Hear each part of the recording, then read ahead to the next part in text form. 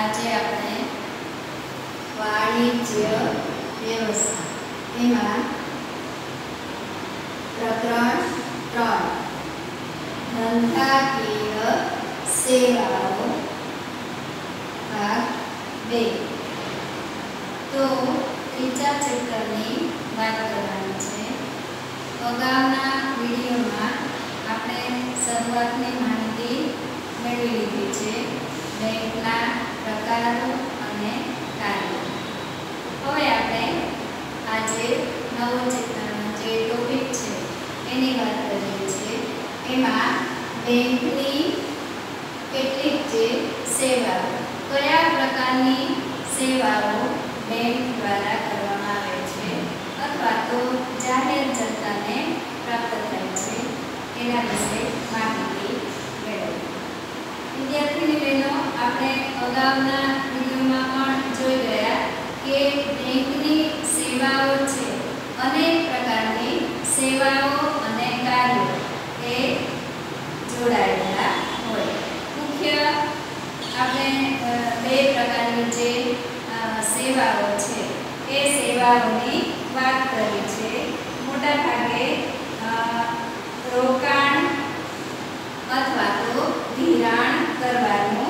Termine.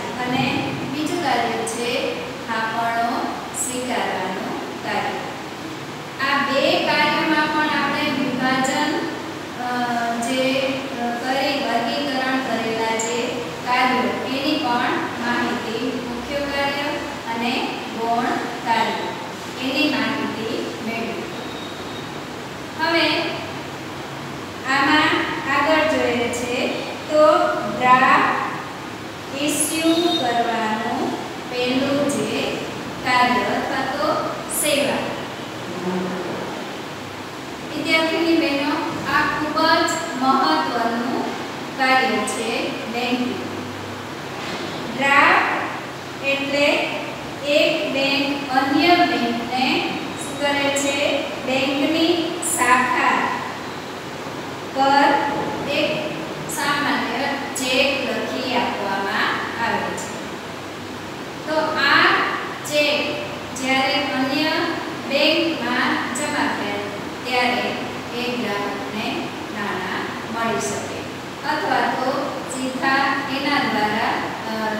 યાત્રા દ્વારા જે તે વ્યક્તિના ખાતેદારના ખાતામાં જમા થાય છે. તો આ પહેલી સેવા છે ડ્રાફ્ટ આપવાનો કાર્ય. બીજી સેવા છે એમાં બેન્કર્સ આ પણ એક ખૂબ જ મહત્વનું કાર્ય છે બેન્કર્સ ચેક ડ્રાફ્ટ જેવી જ આ પણ સેવા છે એમાં બેન્કર્સ ચેક લખી આપવામાં આવે છે અને જે તે વ્યક્તિ અથવા તો ખાતેદારના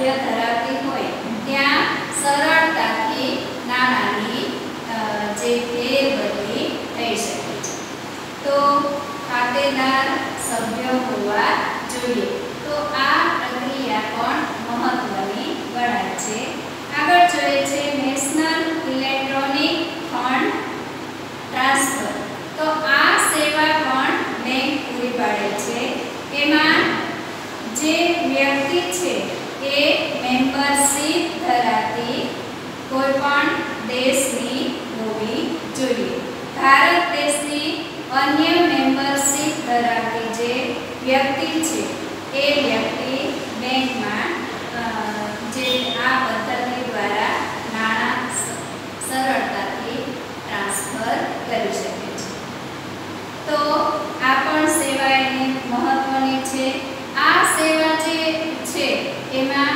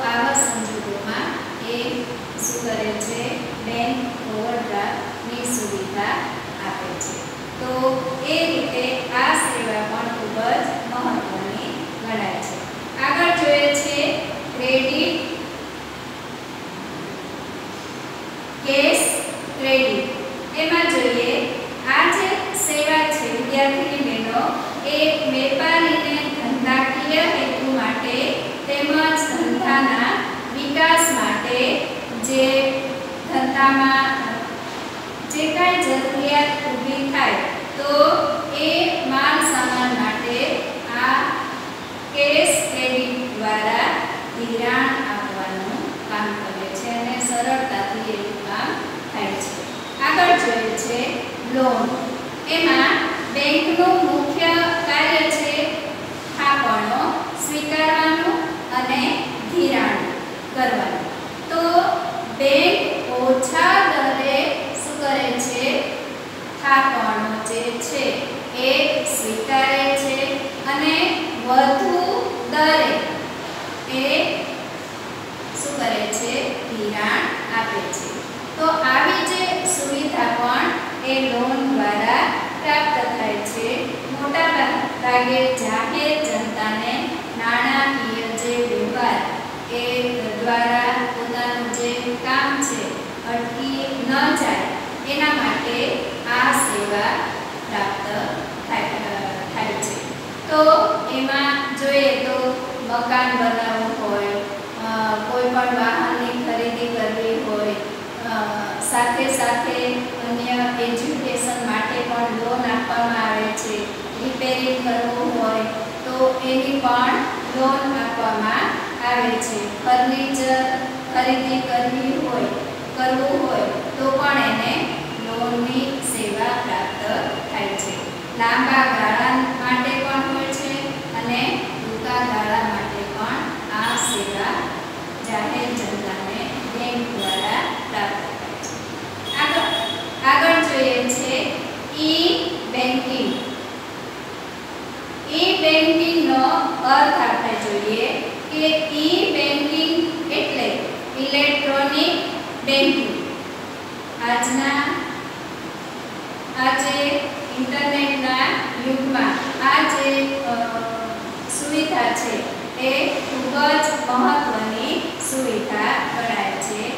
આ વ્યવસ્થા છે બેંકના વ્યવહારો છે, એ વ્યવહારો ભૌતિક જે સ્વરૂપને ઇલેક્ટ્રોનિક સ્વરૂપમાં રૂપાંતર દ્વારા આ સગવડતા જાહેર જનતાને પૂરી પાડે છે.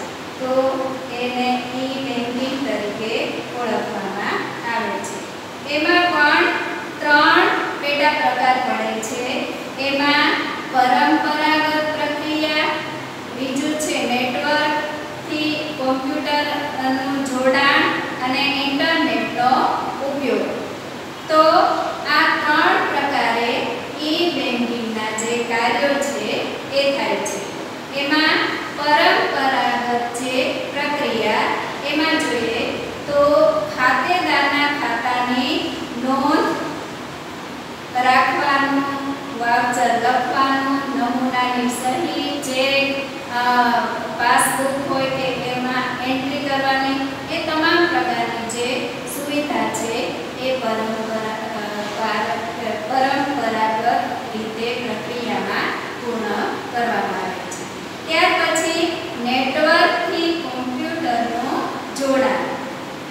આ જે પ્રક્રિયા છે, એ પ્રક્રિયા એક જ બ્રાન્ચમાં રહેલા જે કોમ્પ્યુટરને નેટવર્કથી જોડાણ કરવામાં આવે છે અને એના દ્વારા આજે કોમ્પ્યુટર દ્વારા અનેક પ્રકારની જે માહિતી છે એ ખાતેદારની મેળવવામાં આવે છે ત્યાર પછી નેટ અ, ઇન્ટરનેટનો ઉપયોગ કરીને તો બેંકના કોમ્પ્યુટર્સને ઇન્ટરનેટથી જોડાણ કરવામાં આવે છે પરિણામે બેંકની તમામ પ્રકારની જે અ, કાર્ય પદ્ધતિ છે એ સરળ અને સુવિધાજનક ઝડપી બને છે તો આ રીતે ઈ બેન્કિંગની પ્રક્રિયા થતી જોવા મળે છે આગળ જોઈએ છે ઇન્ટરનેટ અ, ત્યાર પછી કોર બેન્કિંગ અને મોબાઈલ બેન્કિંગ એના વિશે આપણે જોઈએ તો નાણાકીય જે વ્યવહારો છે, એ વ્યવહારોને સંપૂર્ણ રીતે સરળ બનાવવા માટે આવી જે આધુનિક જે પદ્ધતિ છે, એનો ઉપયોગ કરવામાં આવે છે. એમાં પણ ત્રણ પ્રકાર પાડવામાં આવે છે એમાં નાણાકીય અ, વ્યવહાર બિન નાણાકીય વ્યવહાર અને અ, બે પ્રકાર છે નાણાકીય બિન નાણાકીય વ્યવહાર. નાણાકીય વ્યવહારમાં આપણે વાત કરીએ છીએ, તો આ પ્રકારના જે વ્યવહારો છે, એ વ્યવહાર, વ્યવહારો નાણાકીય વ્યવહારમાં થાય છે. એમાં બેંક ખાતેદાર પોતાના ખાતામાંથી અન્ય ખાતેદારના ખાતામાં રકમ જમા કરવાનો વ્યવહાર થાય છે. એને નાણાકીય વ્યવહારમાં સમાવેશ થાય. ટેલિફોનનું બિલની ચૂકવણી વેરો ભરવો અન્ય પ્રકારની જે નાણાકીય ચૂકવણી કરવાની હોય, ત્યારે આ નાણાકીય વ્યવહારમાં સમાવેશ થાય છે. આગળ જોઈએ છે બિન નાણાકીય વ્યવહારો. આ પ્રકારના જે વ્યવહારો છે, એ નાણાકીય વ્યવહારનો ઉપયોગ એમાં થતો નથી એટલે બિન નાણાકીય અ, વ્યવહાર એમાં સમાવેશ થાય.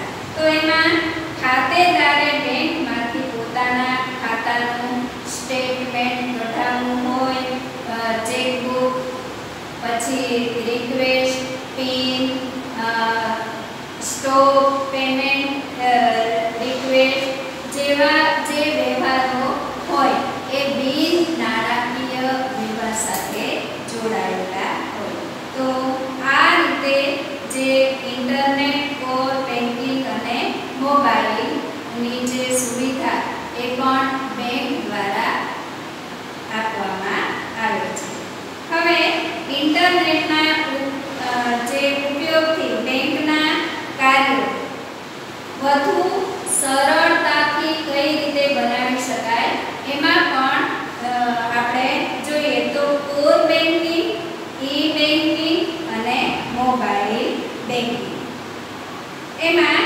કોર બેન્કિંગ એટલે આ જે બેંક બેંકની વ્યવસ્થા છે જે બેંકમાં સમગ્ર વિશ્વમાં રહેલી તમામ જે શાખાઓ છે એ શાખાઓ સાથે આ ખાતેદાર જોડાયેલા હોય એટલે કે રાષ્ટ્રીયકૃત બેંક સાથે જોડાય જોડાણ આપવામાં આવે છે જે જગ્યાએ વ્યક્તિ ને નાણાકીય જરૂર પડે ત્યારે આ સુવિધાનો જે લાભ છે એને મળે છે અથવા તો એને એ સેવા, સેવાનો ઉપયોગ કરે છે અને સરળતાથી નાણાં મેળવી શકે છે.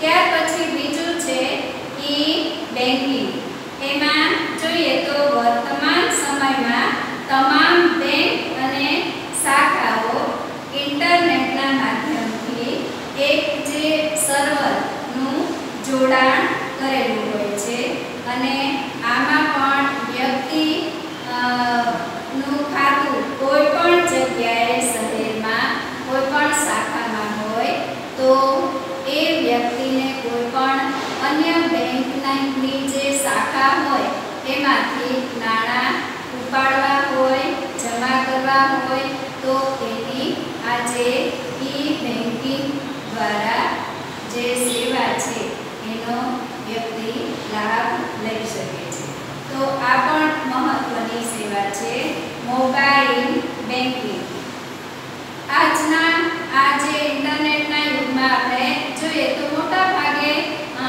જે લોકો છે, ઇન્ટરનેટના જોડાણથી જોડાયેલા હોય. મોટા ભાગે ઓનલાઈન ખરીદી, વેચાણ થતી હોય. તો આવા સંજોગોમાં આજે મોબાઈલ બેન્કિંગ સેવા ખૂબ જ મહત્વની ભૂમિકા ભજવે છે. આજે ઇલેક્ટ્રોનિક સાધનનો ઉપયોગ કરી અને ઇન્ટરનેટ, મોબાઈલ સાથે આમાં ખાતેદાર જે જોડાણ હોવું જોઈએ. તો જ આ સેવાનો જે લાભ છે એ મેળવી શકે આગળ જોઈએ છે બેન્કિંગ સંપર્ક સંબંધી કેટલીક જે મહત્વની સેવાઓ. એમાં ત્રણ સેવા આપવામાં આવે છે. એમાં એટીએમ, ક્રેડિટ અને ડેબિટ કાર્ડ. એટીએમ વિશે આપણે જોઈએ તો આ જે સેવાનું નામ છે, અબાઉટ ટેલર મશીન. બેંકમાં ખાતું ધરાવનારને આ પ્રકારની સુવિધા આપવામાં આવે છે.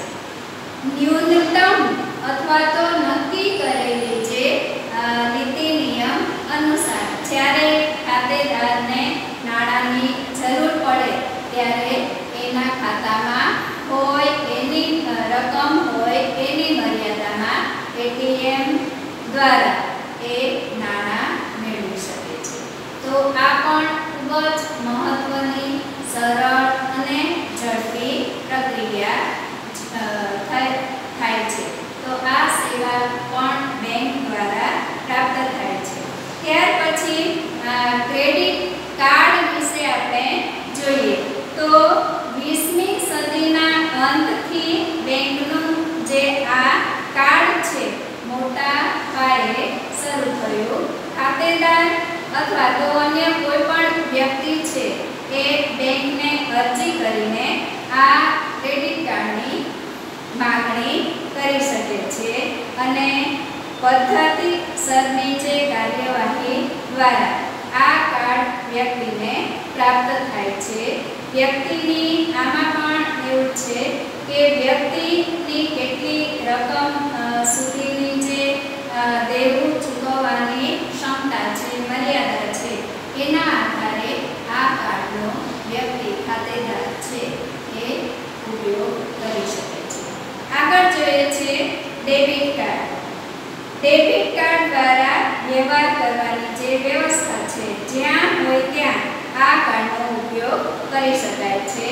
આ જે ડેબિટ કાર્ડ છે, એ મોટા ભાગે ખરીદી કરનાર જે વ્યક્તિઓ હોય, એ આ કાર્ડનો ઉપયોગ કરે છે આ કાર્ડ દ્વારા અ, નાણાંની ચૂકવણી સરળતાથી ખાતેદારના ખાતામાંથી નાણાં અ, સરળતાથી જે તે અ, વેપારીના ખાતામાં જમા થાય છે તો વિદ્યાર્થી બહેનો આ રીતે બેંકની જે જુદા જુદા પ્રકારની સેવાઓ અને એ સેવાઓ અને કાર્યો ની આપણે પ્રકરણ ત્રણ અને ધંધાકીય અ, જે સેવાઓ છે બે એમાં આપણે જોઈ ગયા વિદ્યાર્થીની બહેનો, અહીં આપણું આ ચેપ્ટર પૂરું થાય છે.